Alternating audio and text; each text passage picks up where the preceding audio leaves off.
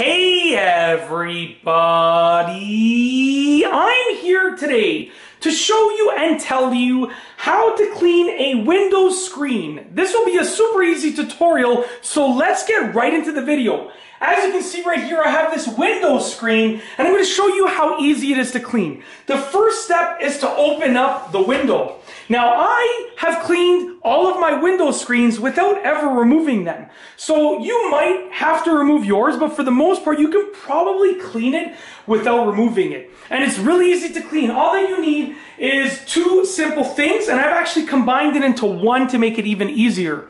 You need a cloth with a damp cloth with just a little bit of soap on it. So right here on this part of this cloth, I have a little bit of soap. I know it's hard to tell because of the exposure of the sunlight on the camera. And then you need a separate cloth or the same cloth, but a different part of it with just water on it. So right here on this cloth, one part of the cloth has soapy water and the other part of the cloth has just regular damp water, okay?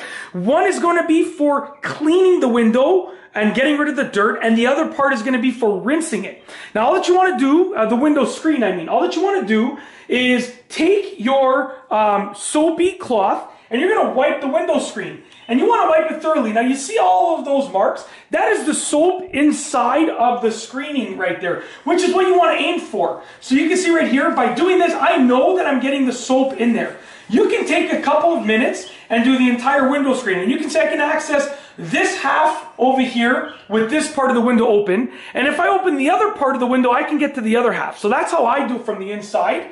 Um, I just open the window one half and then the other half. Um, and uh, each, each half allows me to go past the halfway point. So as you can see right here, that's the soap, the soapy water, and you're just gonna rub the screen, okay?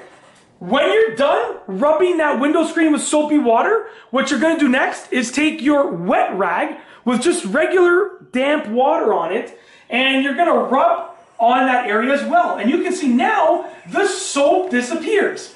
That's because I am rinsing it off with a wet rag, okay? I'm gonna hold the soap, the soapy portion back. And this is what I do, and it allows me to clean my window screens without actually having to uh, use multiple rags.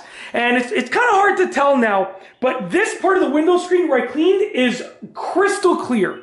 The other parts, I can see the dirt on the screen. Not the dirt, but just, just the dust from outside, right? You know, just the outside dust. I can see it on the screen. But right here, it is crystal clear. So the part that I use this method on, it is really, really clear. And then I could obviously go ahead and I'm going to do the rest of the window screen right now. But I just wanted to show you how to do it. This is the method that I use and it works so well and it's so quick. You know, cleaning window screens, oftentimes people think that you know, it's something that takes, oh, you can't even see my face. Wow. It's something that takes so long. So people only do it, you know, once every couple years.